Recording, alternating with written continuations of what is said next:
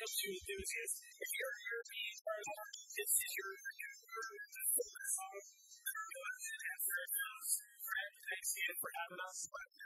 This is unbelievable. This car, 1970 Lamborghini Countach. This is a Series 1 low body car, 1,800 kilometers. So you had this, you had this car for about 10 years, Jeff. Uh, found it in Albuquerque, down in Indiana,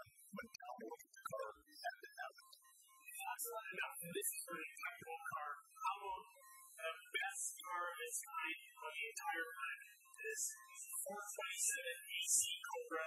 Is an original car, one of the best in the world. About this. Is the uh, AC Cobra 427. Medium side oiler, dual quad, uh, all aluminum car with a 400 plus horsepower. It's a lot of fun to drive on the street. If that's not enough for you, then we go to an Italian classic, a Ferrari Berlinetta Boxer. Oh yes, Uh, this car about 10 years Jeff it came out California. And uh, it's the first American car with horizontally opposed 412, the predecessor of the uh, Testarossa. this is this is the of the Lamborghini era.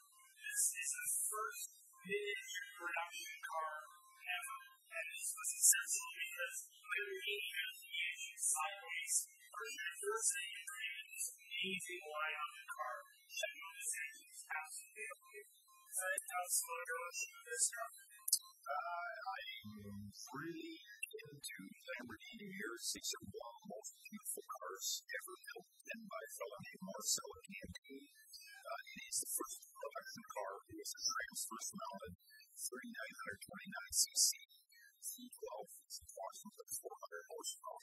Cars all aluminum. Uh, and a 2,500 pound car with 400 horsepower. It's a lot of fun.